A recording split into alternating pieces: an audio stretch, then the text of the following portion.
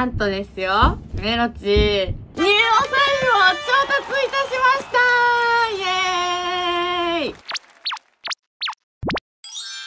今使ってるお財布が、このね、お財布なんだけど、なんかメロチってお財布に対してすごくこだわりがあって、まずは大きさ、そして色、そしてシャネル。この3条件に合うやつがないとなかなかお財布は買い替えられなくって。で、メロチって結構物持ちいいタイプだから、この前に使ってたお財布も、シャネルのピンクのお財布を使ってたんだけど、それもわざわざ修理に出して使うぐらい結構長いこと使ってたの。で、そこから、これに買い替えて、これ買いましたみたいな動画も2年半前ぐらいかなに出してると思うんだけど、そっから新たに可愛いね、お財布ちゃんをやっとね、ゲットすることができたので、お財布の中身を入れ替えつつ、お財布の中身公開をしていきたいと思いますビンビンやろ？親戚のみんなは、メロチのお財布の中身が知れる。メロチは、財布の中身が入れ替えれる。これビンビンやろで、しかもさ、え、2年半で財布変えるの早ないってもしかしたら思った方もいらっしゃるかもしれへんけど、メロチの中では結構早い方なんよ。なんで2年半で変えたかって言ったら、これを買って結構すぐに、おもちゃんを迎え入れたんやけど、おもちゃんにここを噛まれてしまって、ここが切れてるの。これ。やっぱりこのまま使い続けてても、おそらくここどんどん広くなってくるじゃん。で、今、2年半使ってたの、ちょっと綺麗度って言えば、わかるかな？この辺がちょっとすり減ってきてるみたいな。感じで、なんかせっかく可愛いから極力綺麗なまま残したいなっていうので、もうちょっと前ぐらいに、メウチの3条件に当てはまるお財布ちゃんに出会えたんだけど、その時に、あ、これ買うわって言ったら、一応さ、汚れとかがないか確認したりするじゃん。その時に汚れてたのね。で、1点しかなかったから、買い替えれなかったの。また、今期の新作で、メウチが狙ってたね、お財布ちゃんがあったから。てか、なんなら、シャネルってさ、今本当にさ、1点とか2点とかしか入荷しないから、もうその時にさ、買わなきゃさ、買いそびれるから、これは運命だと思って、買っちゃったー。っていうことで、開けてくよールルルかわいい。もうすでにかわいい。どんなお財布を買ったか予想しながらね、見てね。いくよ。みろちが新しく買い替えたお財布はこちらでございます。じゃらららわーかわいい全く一緒の色かどうかわからんけど、そのメロチが、傷がちょっとピッて入っとって、買えへんかったお財布もこんな色やったんさ。はぁ、かわいい。デザインはね、同じなの。じゃーん。このね、お財布ちゃんもチェーンがついてて。ハードはね、6個入る感じかな、ここに。で、ここにも、チャックがありの。こんな感じで。で、ここが、コイン入れ。コイン入れね。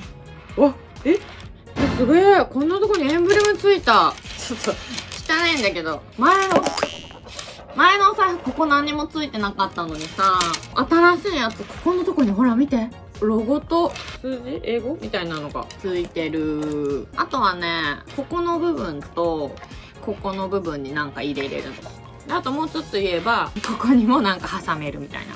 多分、世間一般で言う、これチェーンウォレットみたいな感じなんだけど、もうメロツからしたら、もうお財布なんよ。メロツ本当にさ、お財布の中身が多すぎて、普通にお財布として売ってるサイズじゃ全然物が入らなくてさ、一回シャネルでも長財布買ったことがあるんだけど、入れ替えたら入らなくて、結局閉まらなくて、結局この大きさこの街がないと、メロチはお財布持てないんだよね。でもね、すごく便利なのが、これ、チェーンウォレットになってるから、こうやってかけて、コンビニ行ったりとか、ちょっと竜姫の習い事の送り迎えぐらいだったら、もうこれかけてこうやっても、なってるからね。このチェーンウォレットは便利。たださ、結構ちょっとびっくりしたのが、これが2年半前ぐらいに、買って、その当時、30万くらいだったの。でさ、今さ、結構ハイブラってさ、お値段が上がっちゃってるじゃん。今回さ、これさ、45万ぐらいしたんだけど、15万ぐらいアップ。同じものなのに、ほぼほぼ。あ、ちょっとエンブレムついた分15万があったのかな。めちゃめちゃびっくりしない？でもまあ、欲しいものが買えたから、今度はおもちゃに噛まれないようにね、しなきゃ。こんな感じかわいいいやでもなんか、ピンクの色がさ、これに比べて薄いから、ちょっとね、汚れが目立ちそうなのが心配点なんだけど。まあ、新しいお財布を紹介したので、もう、詰め替えていきますね。まあ、ただちょっとね、問題点がありまして、お財布の中身といえば結構な個人情報がね、ございますので、見せるやものに関しては、こういうのが入ってるって口頭で。じゃあ、まずは、ここは何も入ってません。あれ？何も入ってないよね。なんか、ストーンが取れちゃったのかな？なんかストーンが入ってた。ゴミだな。え、じゃあまず小銭ね。所持金からいくか。439円あ、ちなみになんか、この時はなかったんだけど、今回ね、このお財布買った時に、なんか5年保証がつくようになったって言ってたよ。チャックの開閉がちょっと硬くなったりとかしたらね、なんか無償で修理してもらえるみたいなこと言ってたよ。そして、お札ね、お札、で、1000円、2000円、3000円、4000円、5000円、6000円。こっから来るよ、来るよ、来るよ、やっぱり、メロチ。中堅チューバーだから、こっから来るよ。1万円。以上でございます案外入ってなかった。あんまりさ、いっぱいさ、お金を入れとくとさ、落とした時怖いじゃんって思って、メロチ10万ずつ追加すんの。で、そっからこうだんだん減ってって、今もうこれ減り気味ね。で、この1万円を切ったらまた10万追加するみたいなシステムを自分の中で作ってるから、これまだ追加する感じじゃないよね。もう1万がなくなったら追加するわ。ということで、お財布の中の所持金は1万5400いくらです。これはね、ここにお札をメルちゃん入れてます。続きまして、めっちゃレシートがある。ちょっと待って。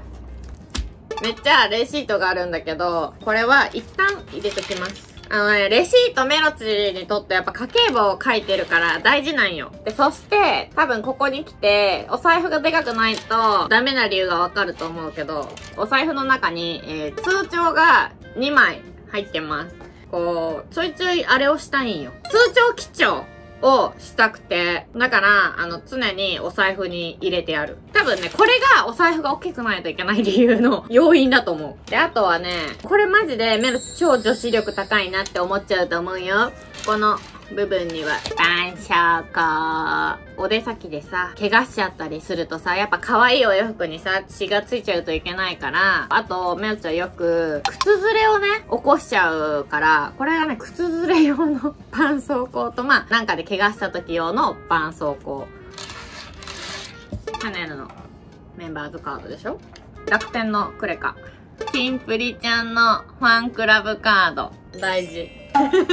財布に入れてるスタバのカード。チメロ製ってクソ田舎で、大してスタバがないけど、スタバのカード。あとはね、ちょっと見せれないんだけど、自分のキャッシュカードが2枚と、習い事の引き落としがされる キャッシュカード1枚と、りゅうちゃんひめちゃんの将来のために貯めてるキャッシュカードそれぞれ1枚ずつあるんだけど。あのね、昔はね、学資保険をしてたんだけど、契約の件でね、ちょっと諸事情があって、解約をしちゃったから、今、竜も姫も学資保険っていうのをしてないから、その代わりにね、あの、毎月貯めてってる、これは。大学とか、ほら、姫だったら多分専門学校とか行くためのお金ね。あとね、お札が入ってたゾーンね。あ、やべえ。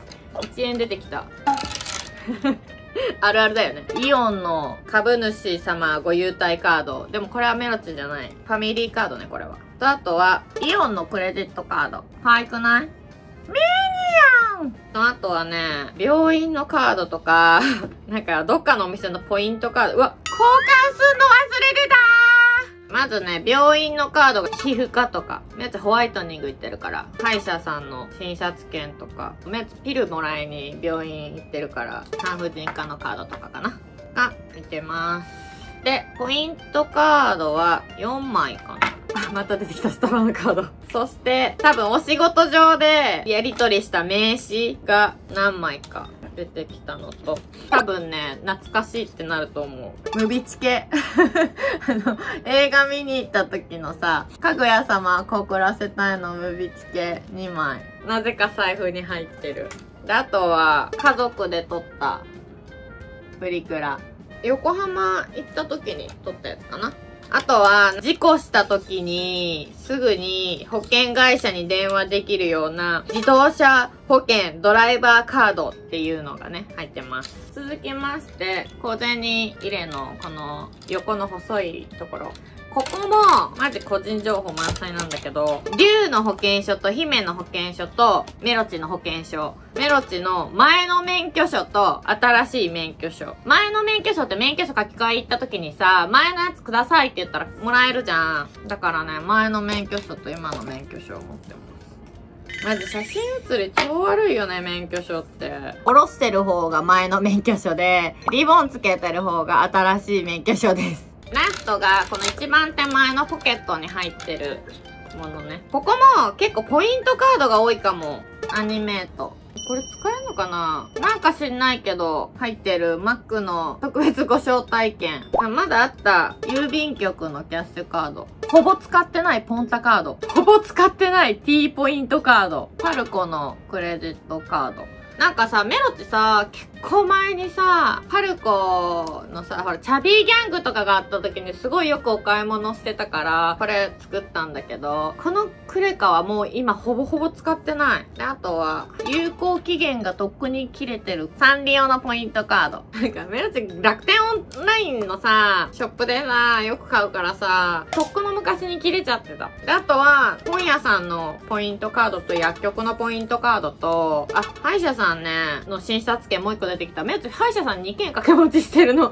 1個は治療用の歯医者さん、1個はホワイトニング用つって分けてんの。いや、なんで分けてんの？めっちゃめんどくさいじゃんって思うかもしれないけど、めっちゃもともとその治療用に行ってた歯医者さんがあるんだけど、そこホワイトニングやってなくて、だから、メインはそっちなんだけど、ホワイトニングだけ違うとこ行ってるって感じ。以上ですかね。2年半使っただけだけど、案外やっぱ、汚れてる。